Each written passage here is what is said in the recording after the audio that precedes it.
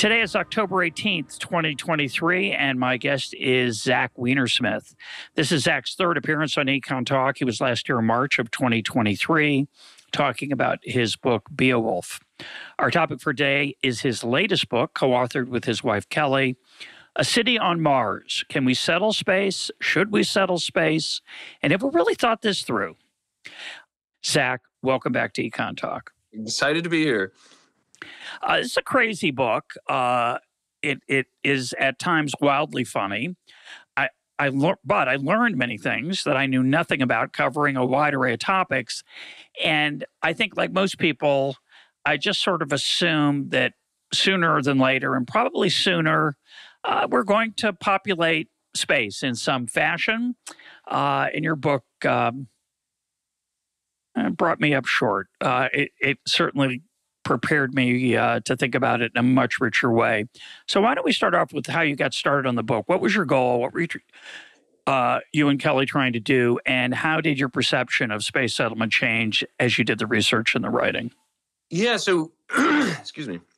For our last book, uh, we did a book that was on emerging technologies. We had two chapters that were pertinent to space, and one was on asteroid mining and one was on uh, cheap access to space. Asteroid mining, we were, I think, appropriately skeptical and have grown more skeptical of. Uh, but cheap access to space actually happened, uh, basically due to SpaceX, and and you know there were other factors, but the, the, the short version is SpaceX, and so we thought, wouldn't it be cool to write a book about this thing people seem to be ignoring when we talk to them, which is what are the rules going to be for this coming space expansion? Because we had this experience where we talked to asteroid mining people and be like what's going to happen if someone mines a bunch of iron out of an asteroid and wants to throw it at Earth? And and to add a little flavor to that, imagine it's Vladimir Putin doing it. Like, what are the rules going to be for flinging a giant hunk of metal at Earth? And we, generally speaking, people didn't have a good answer.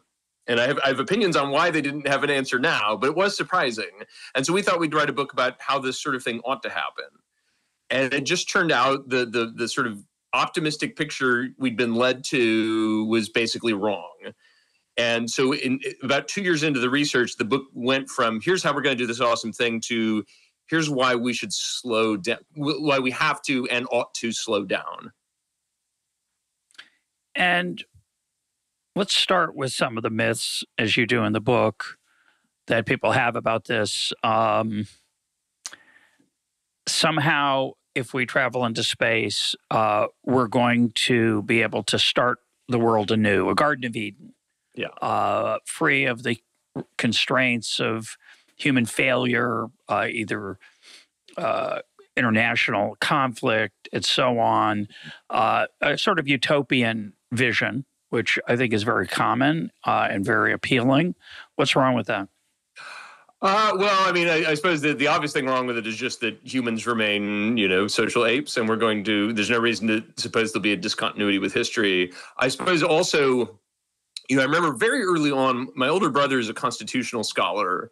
And I, I a while back, we ended up not using it, but I, I, said something like, well, how would you write the Constitution for Mars if you were like going to do that? And his first question, he's like a Tweedy conservative. He said, well, who's going? Uh, which, you know, uh, which, you know, nerds tend to think, well, we just need the right people and the right set of rules and no, nothing bad will happen. And he was like, no, they're not going to be discon- discontinuous with the culture. They come with a culture. There's no way to undo it. Um, and so you have to, like humans always have done, exist within these constraints. I would say the, the other thing that should give you pause is, you know, so that that particular fantasy tends to be either a more libertarian in the in the American sense or a kind of conservative frontier fantasy. But I have seen it as a, a leftist fantasy, like we'll we'll avoid capitalism uh, when we go to space, and so it should make you pause when space allows every utopia to exist. Uh, so at least at least some percentage is wrong. Um, now, you outline legal issues that confront us if we think about populating space, mm-hmm. uh, ethical issues, and uh, much of the book is on the what we might call the physical constraints, technology, uh, and biology of, of human beings. But at the beginning, you talk about the fact that the literature on these questions of how we might move forward tend to be written by people who are biased. You write, if you are ignorant about space settlement and want to become educated, many of the articles you'll read, many of the documentaries you'll watch, and pretty much every single book on the topic have been created by an advocate for space settlement. Now, look, there's nothing wrong with advocacy. The space settlement geeks we've met are smart, thoughtful people, most of them anyway. But reading about space settlement today is kind of like reading about what quantity of beer is safe to drink in a world where all the relevant books are written by breweries. Um, that's fascinating. In and of it's it's a great paragraph. Uh, first of all, why is that the case? And uh, of course, some advocates are right, mm-hmm. but you, you're going to suggest in the course of this book that they've missed some of the challenges.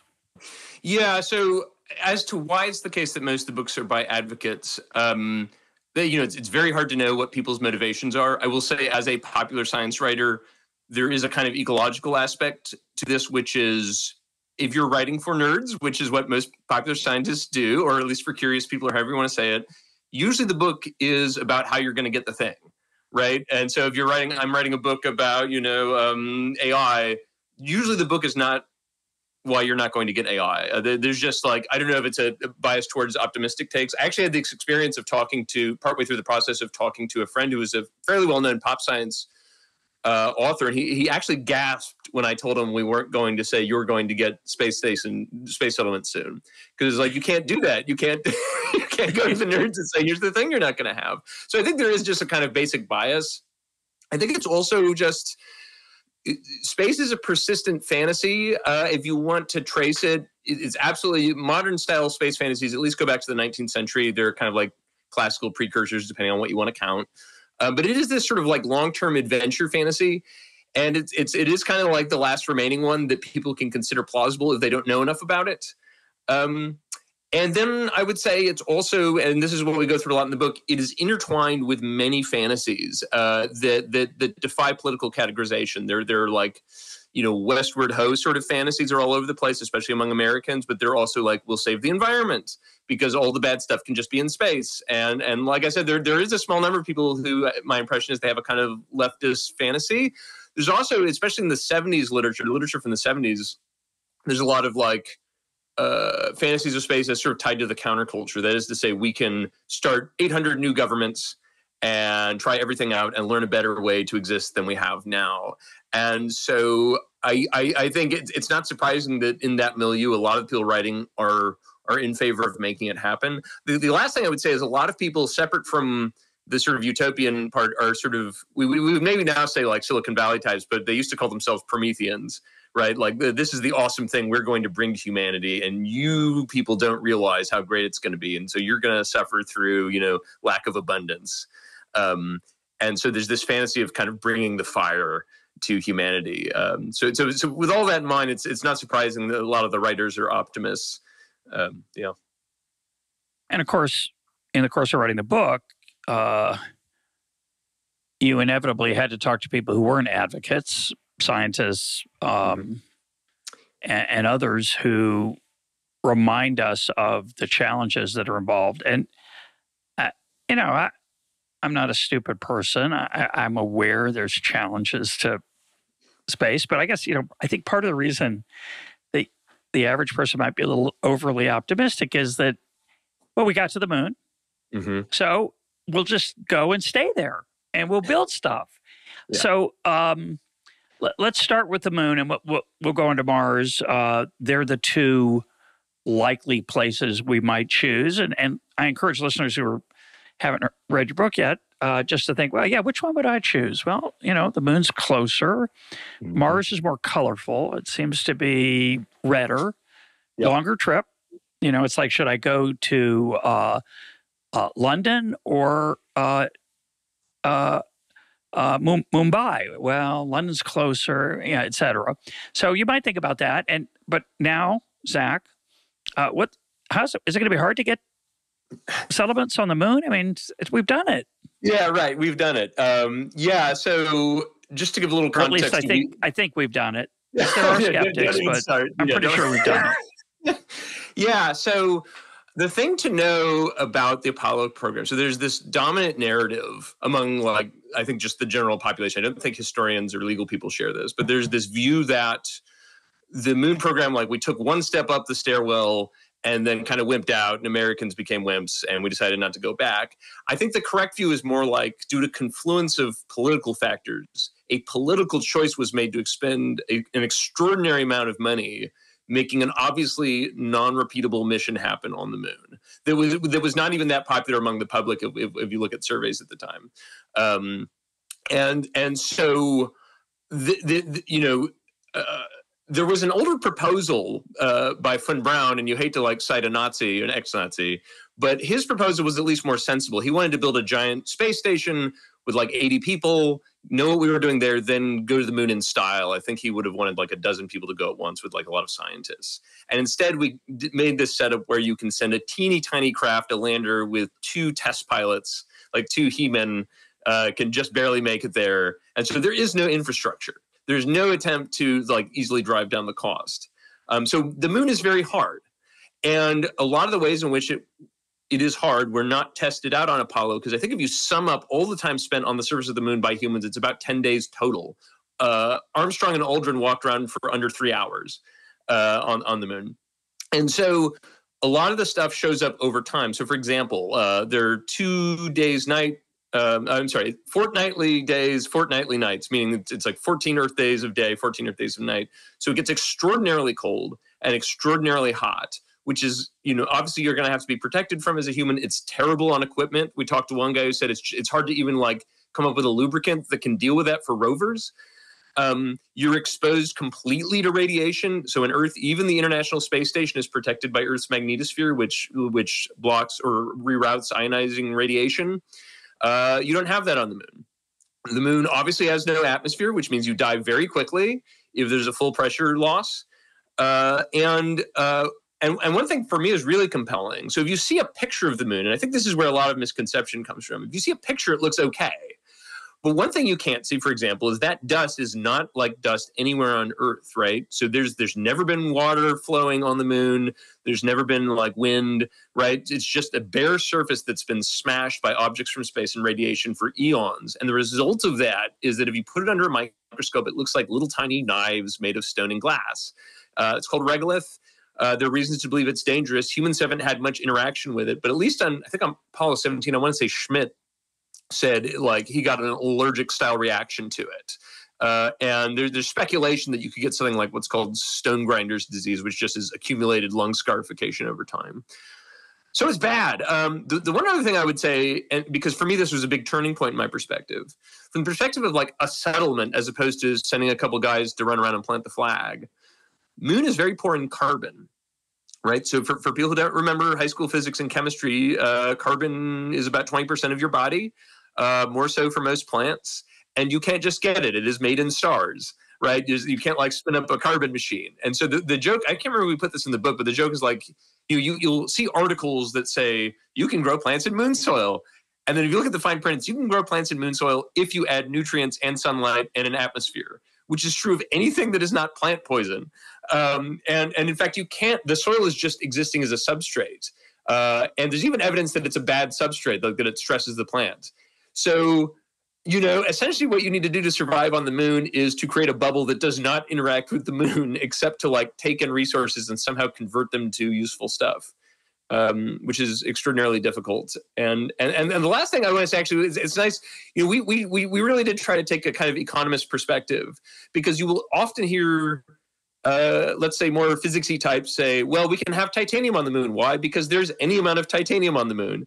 And, you know, we never talk about Earth this way ever, right? I never say, I can have a house because my backyard has silicon for windows and aluminum for metal, you know, and wood is, of course, made of carbon and hydrogen. So I'm all good. Um, and yet somehow this is okay to talk about the moon like this as if no trade off exists. Um, all of which is to say it's extraordinarily difficult.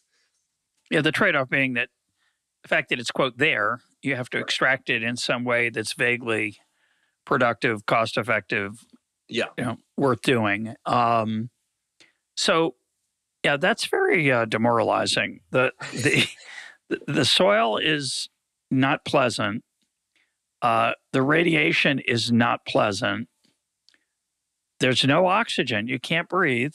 Uh, how do you? How would you? By the way, I, I don't remember. I, am sure you talked about it because it's you cover pretty much everything. It's mm-hmm. um, at least it felt that way, in, in a good way. Yeah. Let listeners know. Um, how, how do I breathe in in my say moon bubble? I'm going to have to create an artificial, as you point out, a number of places because the atmosphere itself is so inhospitable to humans. You have to create either a bubble or an underground thing how do I get oxygen into it? And, so, and then into me? yeah, yeah. You run it in YouTube. Yeah. So um, there are a couple ways. So so right now the way the ISS works is essentially you have like these oxygen That's tablets. The- International, oh, the International Space Station. Yeah, yeah, yeah. And this is, this is the way all space stations have worked. You have a scrubber for carbon dioxide because if carbon dioxide gets above something like 1%, you start getting these really bad headaches and you can get carbon narcosis. It's, it's bad. Um, so you have a scrubber and then you have like a tablet that just releases oxygen which which at least in one case was a source of a fire so it can be a little dangerous. Um, ideally if you want something that can be a little more permanent you want to live off the land to the extent you can. So the question is can you get oxygen on the moon? And the answer is yes but not easily. They're the best source of oxygen on the moon are what are called the craters of eternal darkness which are these um, craters near the poles which have such an angle to the sun that there are parts in the rim that never see sunlight, right? So remember, the moon has no atmosphere. So if you spat on the moon, the the the spit would just bubble off and be lost forever, right? All that water would be gone. If you, but in these in these craters, it's locked in the form of ice, so it can't get away. And so the idea is, well, could you go get that? Uh, and the answer is with extraordinary difficulty, you could, uh, right? So it's incredibly cold. It's a lot more like melting a rock than melting ice. I mean, you can do it, you can heat it up and melt it, but it's, it's in these extremely cold areas. it's also got a lot of nasty volatiles with it. I, I, we list some of them, but like ammonia, stuff you'd have to clean out. The big point, though, and this is a thing I really want to emphasize there is not that much water you will regularly see articles in reputable publications that talk about water as if it's like an on off switch. They have water, they don't on the moon. There is water, it's about as much as a small lake, and it will never replenish. Right? If, if you use it up to launch rockets by making propellant out of it, if you lose some to the atmosphere, as you will, if you put it into a gas form to breathe it, it's going to be gone. And there's not that much. So these ideas that we're going to have like a permanent gas station on the moon with rocket propellant, uh, forget about it. It, it will not work but but yeah so that's that's how you're going to get yourself oxygen. I think you know you know so, so the nice thing about mars which we'll get to is there just is oxygen. You could on the moon by the way also bake it out of stone like there there's lots of stone with oxygen in it but the amount of stone you would have to cook is, is it's on the order of tons just to get your supply per day. So water is extremely scarce. Now before we go on i want to ask a general question that i wonder if it crossed your mind. I suspect it did um, that last remark of yours is there are many passages in the book like that. You might think this is going to work, but it's not because, and you have many reasons, not just like it's expensive. It's more like it's a tiny amount, it'll never replenish, and so on. Did you worry it, and do you worry that, you know, many, many technological breakthroughs were said to be impossible throughout history and you know, human beings will never fly. Human beings will never do this. Human beings will never do that. And of course some many of those things we've done that skeptics and scientists of the day thought were impossible. How much time did you spend wondering if there were technological breakthroughs that might make some of these things you know phenomenally easier? Yeah I, I it's something i think about a lot. Um, and so when you talk to space people the classic example they'll bring up is aviation. Uh, I, I, actually found in older books they often bring up steam. Uh, like if you get books from like uh, the 40s or 50s talking about the future of space, like like people thought you'd never get beyond the age of sail, and then here's the steamboat, right? And so there, there are of course lots of examples. Aviation is a great example because it's so fast, uh, possibly because of warfare. I don't know the historiography, but like you go from you've ever seen the Wright flyer, it's amazing that it flew at all, uh, and then like a generation later, you have stuff that's recognizably somewhat modern. Uh, and then a generation after that, you have basically today's stuff. And you know, so I forget the the time like from the Wright flyer to a supersonic jet is less than a single lifetime, which is insane. Um, uh, I'm sorry, it's, it's it's much lower than that. Anyway, Um, so that's brought up a lot, and of course you don't want to fall afoul of it, but you have to be a little careful with this kind of reasoning because you know, for me, it's very indicative that the aviation comparison in space books about the incoming imminent future of awesome space stuff that comparison was being made in the 50s. So in that case, you would have been right if you said it's certainly not coming soon, right? Um, I would say you know, if, if you wanted, I could list like technologies that to my mind would really change a lot of what I'm saying. So, you know, uh, I have friends working at Commonwealth Fusion Systems in Massachusetts. They're trying to make a fusion reactor. Absolutely. If you could just fire up a fusion reactor, it would change a lot. It would not change the equation for water on the moon, but it might change the math for like delivering water from Earth to the moon. Um, and so, but but to me, you know, you, you can of course never predict the future. I would actually say a really good example of that is AI now. I mean, none of us know the future, but uh, I don't know if we'll get to this, but one question very briefly that we tried to analyze was like, what do people think is the minimum number of humans for self-sustaining, like a settlement that could survive the loss of Earth? The lowest number we found, which I think was pretty fanciful, was 100,000 people. And that was based on the idea that there'll be extraordinary advances in robotics right? Um, so, so that you would actually have the equivalent of something like 10 million people or more. And I sort of laughed at that when I first saw it in 2018. And I think now maybe, uh, you know, that, that kind of idea is more serious. Robots can now use a little bit of common sense and who knows. Um, but I guess what I want to say is one, of course, I can never predict that. And there have been plenty of people who said, you know, the people who said we'll never have an anti gravity drive, they were right. Um, so there have been plenty of people who just said stuff and they were right. But also, the extent to which a particular scenario requires extraordinary developments kind of tells you something about its nature in that if it requires like 100 butlers per person to go to mars then it is not a like heinlein libertarian frontier fantasy it's a star trek fantasy it's a future ultra advanced humans making an aesthetic choice to do something really cool like going to mars and to be to be clear you don't say in the book that humans will never or should never right. populate uh, places outside the Earth. You just say many of the semi optimistic claims yeah. I, th- that in the next 10, 20 years we'll do X are not likely. Uh, and more than that, maybe not even a good idea. Um, let's go to Mars, um, the red planet. Um, we've been there, not with human beings, but with robots, with various uh, pieces of technology. Uh, any better there? Uh, much much better. I would say we we argue Mars. If you are going to try to create a permanent settlement, it's basically Mars or nothing, or Mars or something extraordinarily harder. Uh, so the, the biggest advantage of Mars in general is that Mars has all the stuff you need in a kind of chemical sense, right? So whereas the Moon is carbon poor, Mars not only has carbon, its atmosphere is carbon dioxide. It's a very very thin atmosphere. You can't run around naked outside uh, you will die. But um, carbon uh, dioxide, uh, if, if, people remember, is uh, CO2. That carbon is quite valuable because you can react it with hydrogen to make methane, which is a good um, flammable gas for like propellants, and oxygen is a popular chemical with humans. Mars also has much more access to water. There's plentiful water at the poles. Uh, most places on the surface, we now think you can dig down far enough and find water. Uh, so you know, I, I, would say on the moon, again, outside of very exotic technology, there is no hope of a permanent settlement that could last if the, last through the loss of contact with Earth. Whereas on Mars, it's at least possible. Uh, that said, Mars has most of the problems of the moon, but but to a lesser degree, right? So like Mars has Earth-like days. Uh, in terms of you know, it's, it's a little over 24 hours, so that you get a nice regular light dark cycle. Uh, there, there is regolith uh, that is jagged, and actually, it's also a little worse because it has perchlorates, which are a hormone disruptor, uh, which will come up again if we talk about the risks to human development in space, in the in the sense of like adolescents being exposed to these chemicals. Um, there's also massive dust storms. So there's this great story that I forget, maybe it was Mariner eight or nine, one of the first Mars probes, come, you know, sent by the U.S. to go see Mars, and at some point in the journey Mars, which has a surface, suddenly looks like a flat disk. And it turns out what happened is there was a global dust storm, which is not an irregular occurrence. So you try to imagine what that looks like from the surface, especially if you're using solar panels as your energy source. Uh, kind of terrifying. The other big problem is, and again, without new technology, major new technology, it's six months inbound and six months outbound.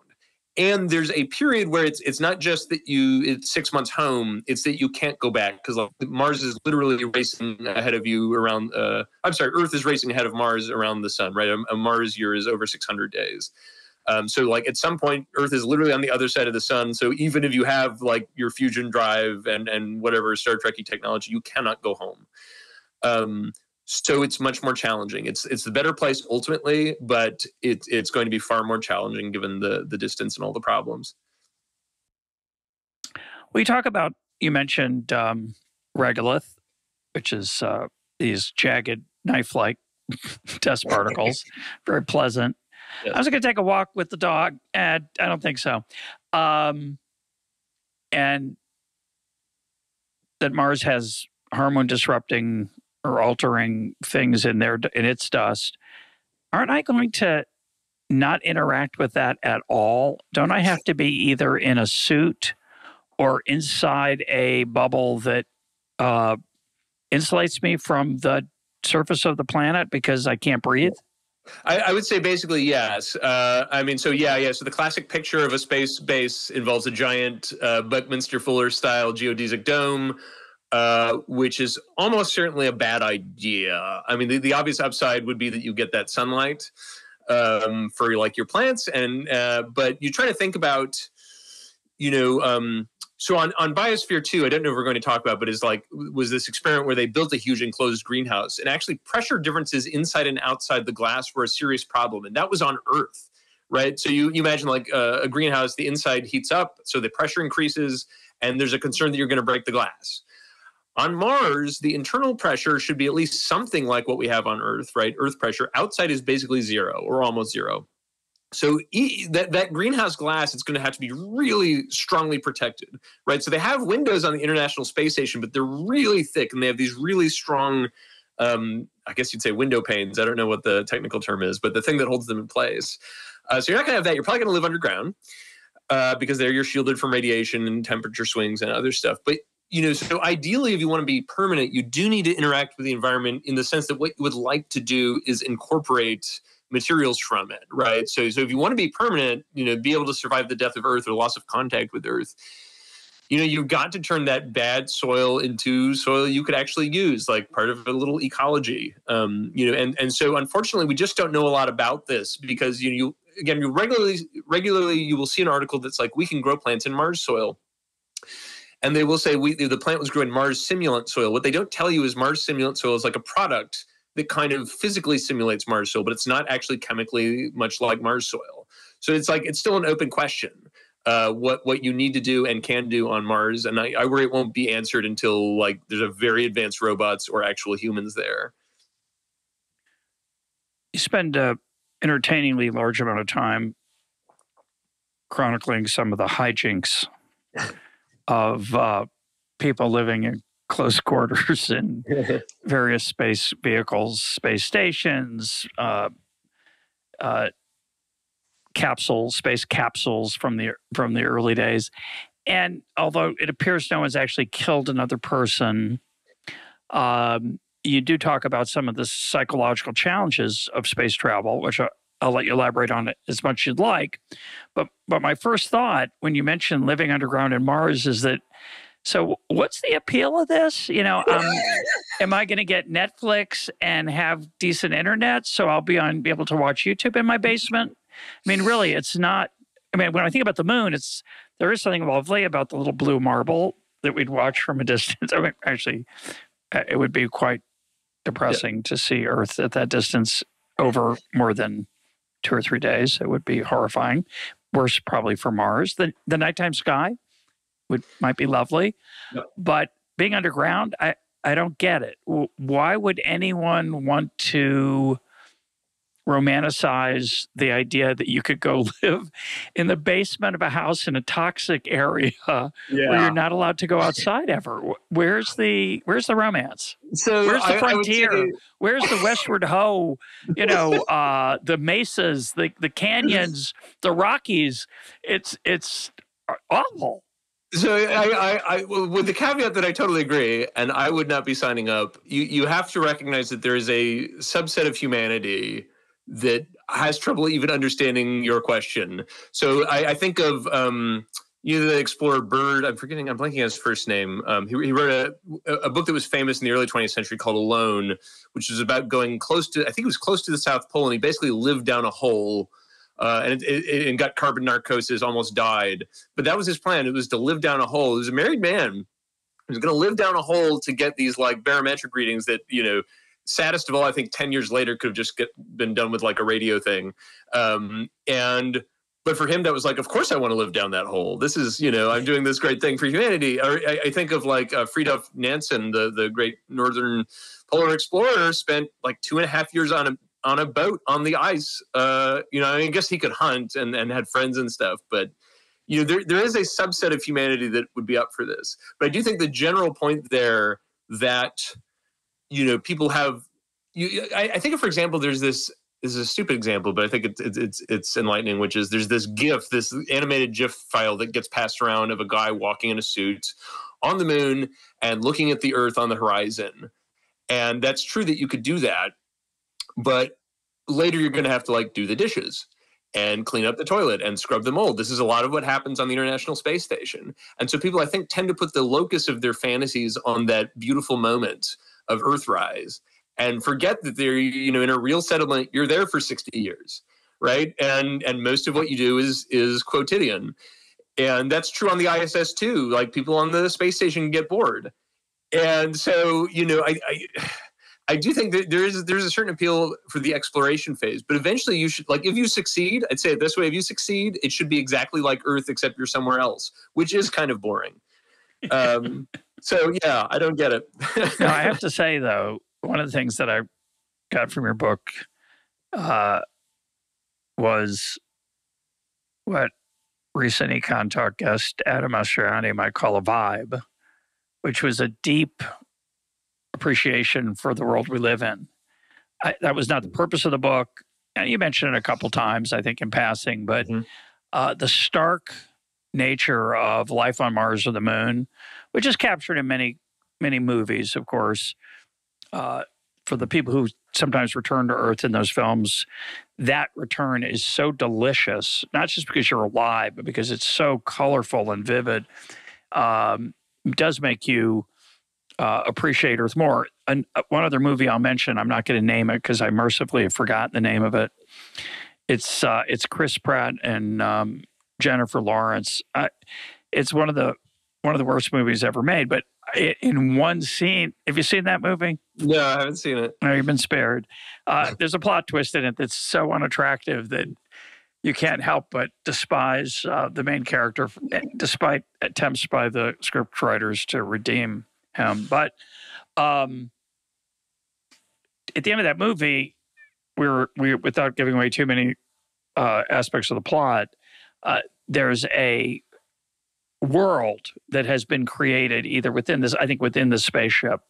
And it's marvelous. It is just, it's extraordinary. It's it's like Earth imagined by a um, a uh, AI image yeah. generator. Uh, you know, it, it's a cross between Tolkien, um, Escher, and uh, I don't know Van Gogh. It's it's it's really magnificent. And the other challenge, of course, is that doing anything productive besides breathing, creating that underground world that you're talking about yeah. is not a straightforward thing. And you talk quite a bit and quite thoughtfully about how making things very far from Earth is not easy. No, I mean we could we could jump to um like yeah. So that ecology question is a very deep one, and and I I would say just as a nerd, it's like disappointing there's not more work on it because like the idea of creating a sealed ecology that works is just absolutely fascinating as a as a problem. Um, yeah, so I'll give you a really good example. If you go back to the 70s, there was a kind of vogue in the space community for these giant rotating space stations. So, like the image you're describing, there were a lot. Of, people have probably seen these like a painting of what looks kind of like a perfect slightly 1970s bent suburban dinner party next to a beautiful river, except it was down the rim of a toroid.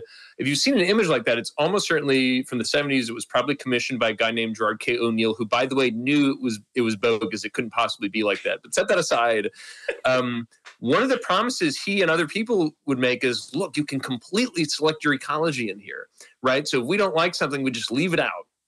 And in Biosphere 2, they tried to do that and they failed because it's really hard. So they had cockroaches that ate a bunch of stuff. They had, I think, some kind of mildew that killed a lot of crops, uh, killed all their beans except the ones that were meant for animals that they ended up having to eat.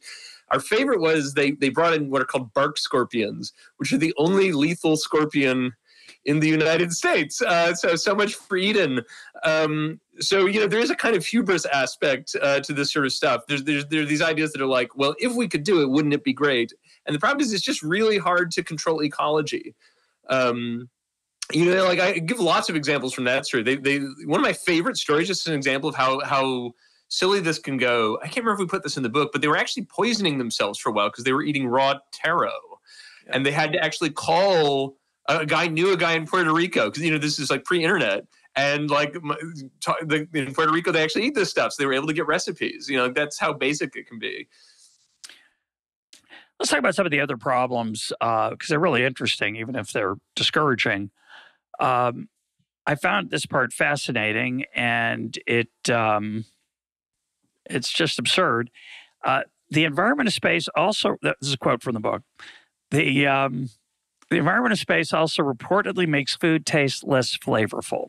This may be a result of the fluid shift, creating sinus pressure similar to a cold, or it may be that in zero gravity, smells don't waft up to, into your nose, or it may be something about the artificial atmosphere. Whatever the reason, astronauts often lust for piquant condiments. Piquant condiments such as salt, pepper, Tabasco, and mayonnaise, and of course, taco sauce. Salty, ah, zesty taco sauce is so beloved by astronauts that for about a week in 1991, it became the first form of currency specific to outer space. On shuttle flights STS 40, taco sauce went on everything. Pilot Sid Gutierrez recalled, although I didn't do it myself, I observed crewmates putting taco sauce on Rice Krispies in the morning. Around day eight, STS 40's Commander Bryan O'Connor realized the crew's rate of taco sauce consumption would soon outstrip the taco sauce supply. According to Gutierrez, the commander secured all the remaining taco sauce, divided it equally among the crew members. Thereafter, taco sauce became the medium of exchange. For example, if it was your turn to clean the latrine, you could pay someone a taco sauce or two to do it for you. End of quote. Uh, brought a little economics into the, into the conversation. The currency of exchange was tacos. This is insane. I, I, I love that story. You know, well, was something we tried really hard to do. So like, there are a lot of space stories that have been told many times, and we didn't want to tell, that we wanted to find new stuff. And so a lot of it was reading oral history. And I remember that book is in an oral history of the space shuttle, where they just interviewed tons of astronauts, and they kind of binned the interviews helpfully into like, this is stuff that was said about food. This is stuff that was said about wonder. And I just love that story because it's so it, it, it, captures the quotidianness of space so thoroughly, you know, and and but also tells you about like, you know, it is true that apparently space food doesn't taste as good. Something happens, we don't understand it super well. Um, but yeah, I love like I, I I've told that story to many economists, and they're always just delighted by it, by the idea that like humans just spontaneously created currency. Uh, and, and, and by the way, that wouldn't have been I don't know how long it was, but it would have been like under two weeks that trip. Like humans very quickly uh, created economies. well, not just very quickly created currency. Uh, taco sauce uh, became that. That is what is actually almost as interesting to me is that taco sauce became the currency the way tobacco or cigarettes were in prisoner war camps that right. we've talked about on this program. Uh, we don't get to reference that classic Mike Munger episode often enough, so uh, we'll put a link to that uh, in the archives. Uh, the loss of tasty food is uh, the least of it. Uh, let's talk about issues related to um, radiation and bone mass and muscles, yeah. which I think most people it doesn't cross their minds. Yeah, so um, never crossed mine. The, the, first thing I would like to note that is that I'll, I'll, I will shortly rattle off a bunch of bad stuff space does to you. The longest an individual has ever been consecutively in space is 437 days, about a year and a third, right? Um, so all this bad stuff is in the context of a very short period of time. So space reliably degrades muscle density uh, especially in areas of your body you just don't use in space, like your hips don't really come up in space. You can lose. And in, in one paper, they found 1.5% density loss per month. Per month insane. You can get uh, renal stones because your your so much calcium is coming out of your system. Like like this is what your body does when you don't use stuff; it goes away. It's very similar to people who are stuck in bed for a long period of time. Uh, and that is with a, a, huge amount of exercise, strength training, that sort of stuff. Similar effects happen to muscles. Uh, people lose a lot of strength. Um, there's a story that Jerry Linenger uh, was an astronaut uh, who went aboard Mir, the big Soviet space station, later a Russian space station. He was very proud that after I think something like four and a half months aboard, he was able to walk when he came out, just walk uh, by himself, right? Right. And so most people don't. Uh, the the Soviet tradition was actually that people would be carried out like uh, the bride over the vestibule uh, out of the capsule. Um, and so it, space degrades muscles, degrades bones. There's more subtle effects. When you go to space, there's a fluid shift shift upward, right? So your body's plumbing is used to fighting gravity. When you go up into space, fluid just shifts up. People get what's called puffy face. If you see astronauts shortly after they've gone to space, they often kind of look baby faced. Uh, and it's because this fluid is shifted up. And they often have to urinate a lot because of that, because it throws off what their body thinks is going on with their uh, fluids. And and so typically when astronauts are about to land, they drink something like consomme or like like thick Gatorade uh, to restore this fluid balance. That fluid shift, we think, also degrades vision. So astronauts, especially if they're like my age or older, like in their 40s, they are tend they send they send them up with what is the acronym is SAG S A G. Uh, it's something like space adjustment goggles or something. But basically, reliably, your vision gets worse, and we think that's because something with the fluid shift is like changing how the nerves to your eyes get fed or something. But it's a little ominous because there is equivocal evidence, possibly of cognitive effects. Uh, and so it could be that, that that vision effect is just more obvious than than uh, cognitive effects. We don't know, but it's a little creepy. Um, and then, of course, there's radiation. The, the basic deal on radiation is we don't understand well what it does, but the assumption is that it's bad, and, and in particular, that it's bad for a, an increased cancer risk. But the, the connection is very poorly understood uh, because it's very hard to study radiation in humans. And even if you have data on radiation on humans, uh, it doesn't necessarily apply in space because it's a different type of radiation. Now, the book is about space settlement, not space travel per se. Um, we we could almost certainly put a human being on Mars sooner than later if we if we worked at it. Yeah. But the question is, could Mars be an escape hatch or alternative reality, alternative place for human beings if either a, a nuclear war of unimaginable size happened here, climate change got to the point where it was no longer friendly to human life, and could we survive by um, going to to say Mars? Uh, you earlier mentioned we need 100,000 people. Part of the reason is that uh, you want to reduce inbreeding uh, and yeah. you want to reduce, uh, you want to be able to have um, subsequent generations. And, you know, in my mind, okay, you know, uh, may, maybe you send uh, among your astronauts who, who head to, to Mars, there'd be a mix of, of men and women. They would procreate either before, during, or after, and your population would start to grow. And it's forgetting the 100,000 sort of minimum, if that actually is accurate. And you actually think it's larger. Mm-hmm. Um, what's the challenge of pregnancy and um, and yeah. growing up uh, outside the friendly Earth that we grew up on? Yeah, so the short version is we know almost nothing and what we do know is scary. And so the the the deal is so one thing we talk about, which I don't think we're going to get into here, but is that human spacefaring like is expensive. It is usually done for political reasons. Nations do it to kind of demonstrate prestige. Uh, the scientific uh, rewards are kind of questionable. Um, and so the result of that is there's not like a systemic program aboard these space stations to learn how animal reproduction works, right? So you can imagine a world where NASA was like, the Space Settlement Agency. And someone would say, we need a space station just to steady reproduction. That has not happened. It's very grab baggy. So when we tried to collect like every experiment involving like gametes or reproduction or anything even vaguely related to reproduction. You know, it, it's just a bunch of random stuff. It's like one group in the 80s sent up quail eggs, and a group in the 90s sent up a rat uh, to see how it felt and, and measured some hormones. And so it's extremely unsystematic. And so the results of that is you basically can't conclude anything for sure. And and, and just to be clear, no one has ever uh, tried to conceive in space that we know of. Um, and uh, certainly if they did, there's no science done on it. Um, so that's the, the, the level of not knowing we have. Then why it's scary? Well, of course, there's the radiation. Uh, as as I said, microgravity reliably re- reduces bone density. Space, Microgra- microgravity being whatever level of gravity there is, say, on the trip. Yeah, I'm right? sorry. Yeah, effectively no gravity. Uh, we, we, the, the term is microgravity, but you can just say zero gravity, right? So, yeah, on the trip, there'd be zero gravity. In the International Space Station, there's zero gravity. You know, logically, we're going to be on the moon or Mars, so there'll be some gravity we have no idea what the long term effect on bones. You know, so there's, there's some world in which 40% gravity on Mars is enough to fix everything, or maybe 40% gravity and you wear like a weighted vest or something. Man, maybe it'll be fine, right? I, I, do, I do like to point, you know, so we're worried. It's worth noting that like in the 50s, it was an open question whether humans could eat, you know, in space. There was a concern that you might like, you know, it, it's frankly, I still find it surprising people can eat with no gravity. Um, and so it's possible that bone density stuff on the moon or Mars will be fine. But you know, you try to imagine having an infant with an infant without the normal pull of gravity. It's just zany.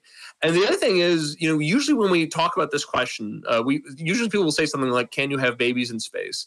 There's an anthropologist named Cameron Smith who wrote a book called Space Anthropology, and we don't agree with everything he says, but he, he made a really good point, which is it won't do to just talk about babies because the babies have to grow up to have babies.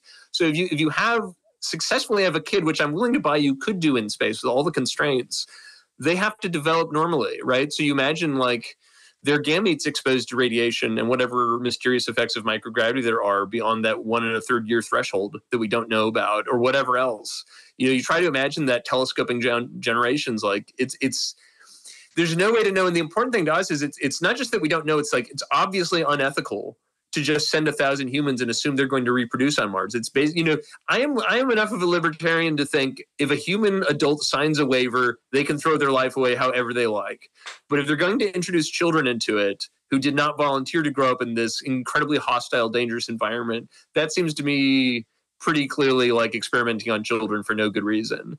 Um, yeah, so sorry, it ended up kind of dark, but um, but yeah, we don't know much, and what we know is frightening. Well, I think the most exciting thing I think we've heard so far is that uh, rucking, that is the use of uh, a, a, backpacker weighted vest to help uh, mus- musculature and bones stay strong, will be very popular on uh, on Mars, and that that will please I think recent some recent EconTalk guests and many of our listeners. Um, let's turn to the question of where you started in this book, which we've yet to mention. You you make a list of reasons that people might want to go to outer space um, and populate faraway places. Uh, the two you mentioned are the cathedral and the hot tub. Mm-hmm. So tell us uh, what those are, and uh, tell us how you think your expanded knowledge of the realities ha- affects those motivations. Yeah, so so so in the beginning of the book, we we basically just try to say a bunch of the stuff you've heard is wrong, like space is probably not going to make us rich or save the environment very soon anyway, or any of this stuff. So we say what arguments seem plausible to us, and one we call uh, the cathedral of survival. The idea being like, okay, maybe space going to settle space won't do anything for us, like you know, sparing us from climate change or whatever. But it would be a good thing to do, say in the next few centuries because it would help preserve the species. Uh, which, you know there, there, are philosophical arguments about this, but basically most people agree that having humans continue as a species would be objectively ethically good. And so the idea is then, well, regardless of return on investment or whatever you know people like these Weinersmiths think we should be worried about, we should start putting in pieces now so that our descendants um, can have this better chance to survive. So that's one argument that, that at least is superficially plausible. The other argument we call the hot tub argument, which is just, you know, I think th- this came up when we talked to space geeks. They would often start with these kind of highfalutin philosoph- philosophical things about, like, you know, well, we need to revitalize society and and and, save the environment and and and end poverty. And then eventually, if you if you kept t- talking, they would say something like, "Well, whatever. Uh, Elon Musk has the money and the rockets, and we're going to go, and and you have no sort of standing to stop us, right? There's like so." you know, uh, uh even if there's no good reason to do it, we want to do it. And the reason we say hot tub is kind of a joke. It's like, well, if you go to buy a hot tub, all that matters is that you want it and someone is willing to sell it and you can make that transaction. And generally speaking, there's not, you know, some third party can wag their finger, but it's none of their business. And the, the way we like to talk about that is that's true of most transactions, I would think. You know, like if you go to the grocery store, there's not a third party saying, Do you really need those Oreos? Maybe you like your spouse. Um, but like but but but nobody else. Um, whereas there are some categories of purchase we don't say that about. A classic example is nuclear weapons. So I actually looked it up. Even like the the the you know Mises.org doesn't think private citizens should be allowed to have nuclear weapons, right? So even I, I, I was wondering if there is is there someone who is okay with private citizens building hydrogen bombs, and even they are like no, because that's effectively waving a gun at everybody in the in the state, uh, which violates uh, non-aggression, right? And so there's, there's essentially no one who is okay with that. There's probably somebody, but basically nobody. And then you can imagine the spectrum from like going to buy a hot tub, which basically has no third party with any right to say no, and buying a nuclear weapon where essentially everybody should be able to say no. And then the question becomes where does space settlement fall on that axis? And you might think, why, why is it not a pure aesthetic choice? Well, try to imagine, as some people have proposed, putting a million tons of metal uh, about 70 miles high in orbit. Um, I think most of us feel like we should have a say whether anyone is allowed to just do that uh, because it, it sorry, because it creates this huge hazard not dissimilar from the hazard of of detonating nuclear weapons. And then so like a lot of the book is kind of sussing out how valid are these seemingly valid arguments. And our ultimate conclusion is that the hot tub argument clearly won't do. It's not a simple personal choice because basically, even if you imagine, you know, fusion drives and whatever else, having a world where private actors can put enormous amounts of high speed metal in space is is a world where human humanity is endangered. Uh, so it seems like there just has to be um, some kind of regulatory framework. Uh, and we, you know, you can argue about what that should look like, but there has to be some kind of control on it for the same reason there has to be on nuclear weapons.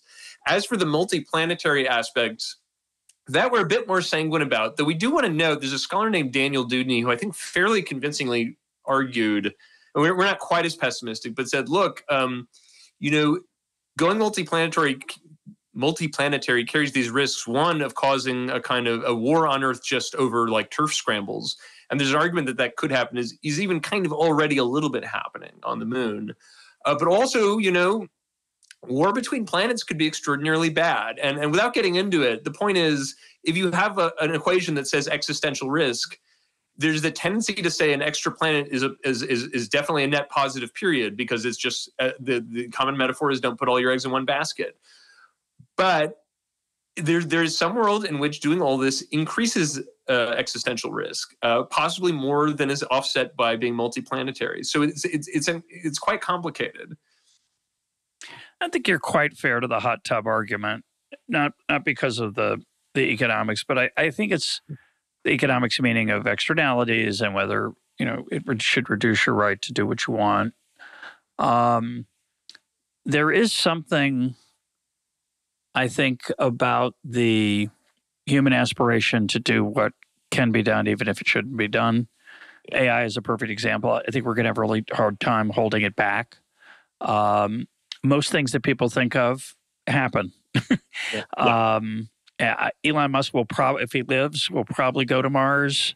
Maybe not himself personally, but I could imagine he would. Um, and to me, there's something powerful and, and poignant about our desire on our little tiny planet in the middle of an enormously large galaxy to take a very very small step. Uh, not not not for human beings meaning to be on the moon but to actually start to go farther. Mars would be next and then wh- whether we could ever go beyond that in any reliable way is a technological question at, at, at a minimum. Um, but there's something even, even though I, I it doesn't I'm not sure how compelling the argument is. There is something um, uh, moving about it, even if yeah. I'm not convinced by it. Yeah. so two things on that. Um, so uh, one, I agree. I can't remember who first said it. Maybe it was Sagan, but I have a feeling it was earlier. Said essentially like the difference between going to space and not is the difference between zero and infinity, right? It's like if we start expanding, eventually at some distant date, some descendant of human intellect is throughout the galaxy, right? Uh, you know, I mean, that's a very distant, very, very, very distant day. But you know, the alternative is we just stay home and that's it. And eventually, the sun engulfs us, and and it is no more. Um, so, um, I think that's true. Uh, I do think you have to reckon with the idea that it might be better to wait for the simple reason that we might be more likely now to cause species destruction than we might be in 100 years. There's no way to know. Uh, you know, could, could, some people make what's called a short window argument, like actually we're, we're right the second in a kind of golden age, so we have to go now before we sort of lose the juice. Uh, Robert Zubrin makes an argument that's essentially like Americans are still a little tough from the frontier days, so we can, we should go now while, while we're still tough, uh, which I don't buy, but but I think a lot of people buy some version of it. Um, the other thing I would say, I'm not sure it's the case that humans always eventually get what they want. I mean, the obvious example would be nuclear power. We we've kind of True. I was going to say made a collective decision, but it's more like you know made a collective sort of stumble uh, towards basically saying we're not going to do it en masse like people had imagined in the 50s, right? Um, but I haven't actually for for space. There's an even better example, and I, I promise I won't get in the weeds on this, but very quickly in Antarctica, there was a, an attempt in the late 80s to say we could we, we want to make a framework. So Antarctica is regulated as a commons by a consortium of nations, right? Nobody owns it. Nobody, you know, it belongs to a bunch of nations, right? There was a move to make it exploitable, and there was evidence. I understand from survey data that like maybe there were actually economically viable resources to get uh, in Antarctica. And a very standard space geek argument is well, you guys can talk about regulation and danger all you want, but the moment there's money to be made in space, people are going to just go get it and whatever.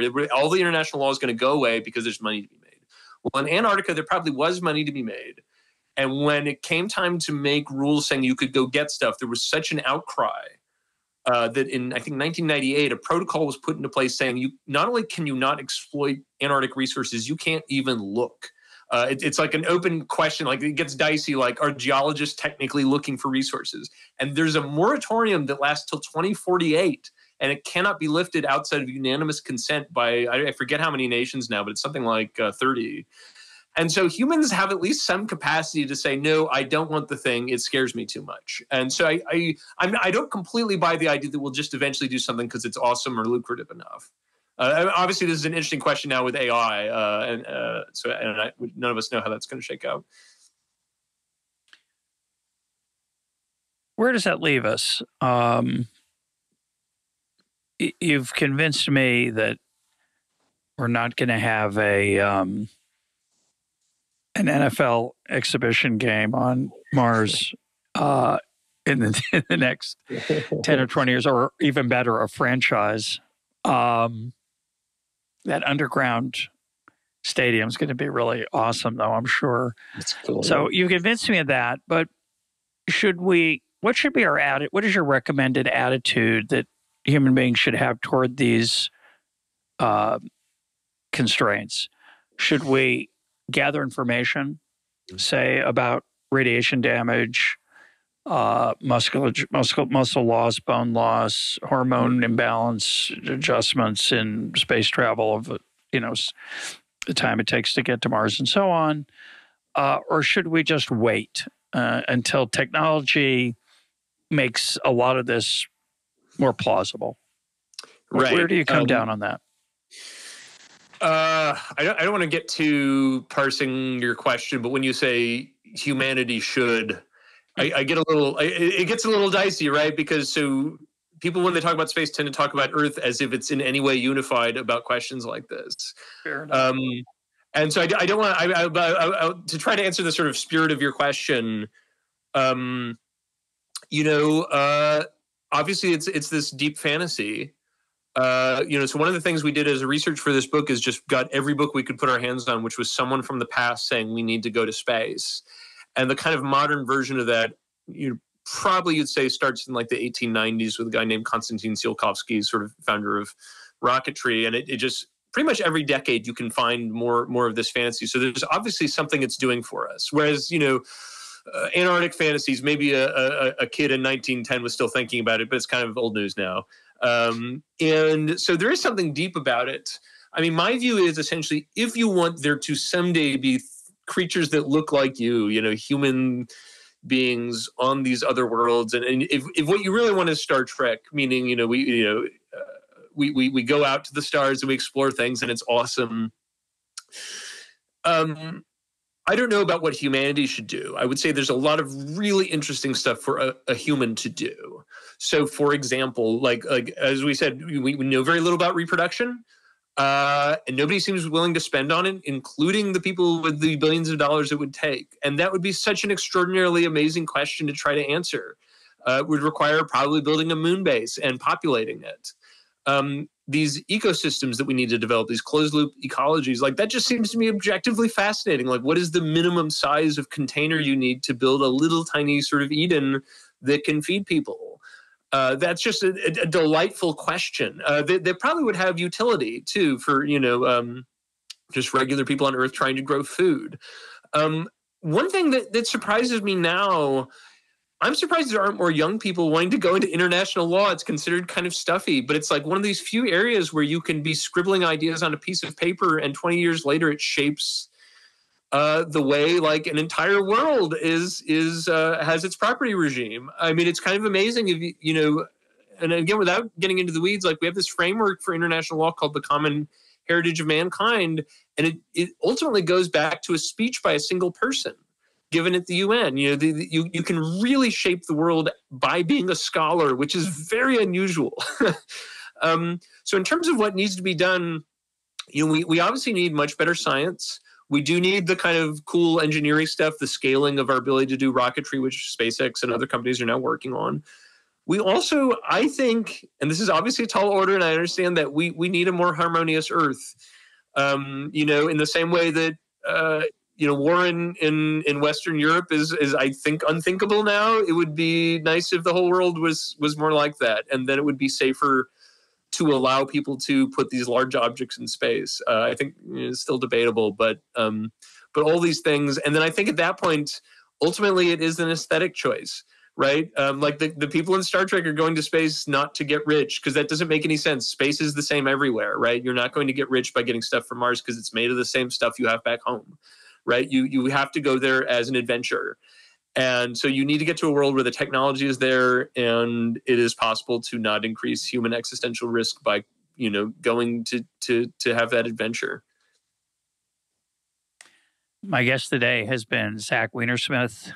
His book, written with his wife Kelly Weinersmith, is A City on Mars. Zach, thanks for being part of EconTalk. This is a delight. Thank you.